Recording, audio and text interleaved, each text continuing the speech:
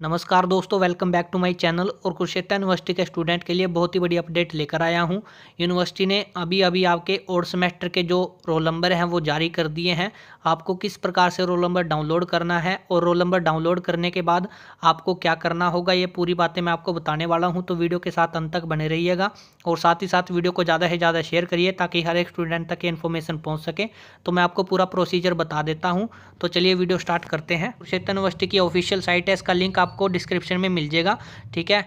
यहाँ पे आपको अपनी क्लास जो है वो सिलेक्ट करनी है। अभी तीन क्लास के जो रोल नंबर है वो आए हैं बी कॉम ठीक है? और उसके बाद बी ए पाँचवें सेमेस्टर के रोल नंबर आ चुके हैं। आपको अपनी क्लास सेलेक्ट करनी है और उसके बाद आपको अपने नाम के तीन अक्षर डालने हैं यहाँ पे, ठीक है? उसके बाद आपको सबमिट कर देना है और आपकी जो लिस्ट है, आपके नाम की यहाँ पे आ जाएगी। तो आपको यहाँ पे अपना रजिस्ट्रेशन नंबर और उसके बाद आपका नाम, फादर नेम और उसके बाद यहाँ पे अपनी मदर का नाम आप देख सकते हैं। उसके बाद आपको प्रिंट पे क्लिक करना है और प्रिंट पे क्लिक करते ही आपका जो रोल नंबर है वो डाउनलोड हो जाएगा। पासपोर्ट साइज़ फ़ोटो लगानी है और नीचे आपके सिग्नेचर होंगे और साथ ही साथ यहाँ पर आपका एग्ज़ाम सेंटर लिखा हुआ है। जैसे कि इनका एग्ज़ाम सेंटर ये है राजीव गांधी गवर्नमेंट कॉलेज, ठीक है, साहा अम्बाड़ा में।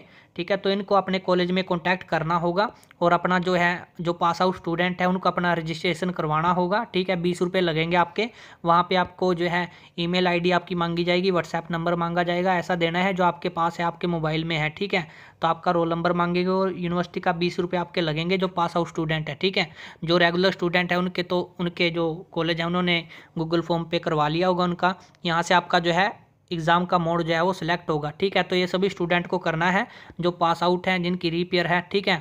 तो आप अपना जो है यहाँ पे इंस्ट्रक्शन लिखी गई है आपके एग्ज़ाम को लेकर तो आप इसको पढ़ सकते हैं। वैसे मैंने बता रखी है सारी आपको, अगर फिर भी आपको कोई डाउट रहता तो आप जो है कमेंट कर दीजिएगा, ठीक है? धन्यवाद, जय हिंद।